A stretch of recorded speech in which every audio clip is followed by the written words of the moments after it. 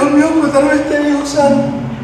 Entre el Arrullo es un largometraje que nace del proyecto Cartas al Galeras. Este será rodado el próximo año. Contará con la participación de actores naturales de la Perla del Pacífico. Entre el Arrullo es un largometraje que surge de tres años de investigación en las veredas de Puerto Palma y Candrilla de la Mar con el proyecto Cartas del Mar al Galeras. Eh, de ahí surge el guion del largometraje eh, que ahorita está en fase de desarrollo por, eh, patrocinado pues, por la Dirección Administrativa de Cultura de Nariño.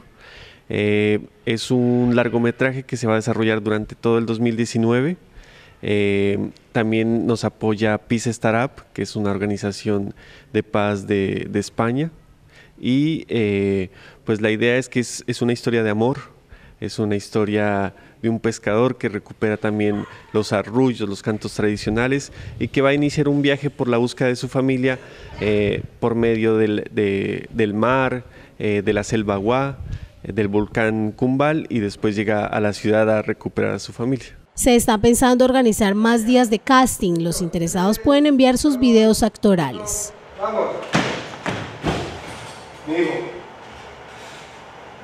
Pues hemos tenido como eh, peticiones de que no se pueda asistir como a estas horas, eh, también eh, proponemos que nos envíen sus casting, una grabación, a la página de Facebook de Cartas del Mar al Galeras y que graben una escena donde reciban a su hijo. Es como la escena que tienen que interpretar, no máximo de cinco minutos, en donde se imaginen que por primera vez reciben a su hijo y que les van a presentar al mundo.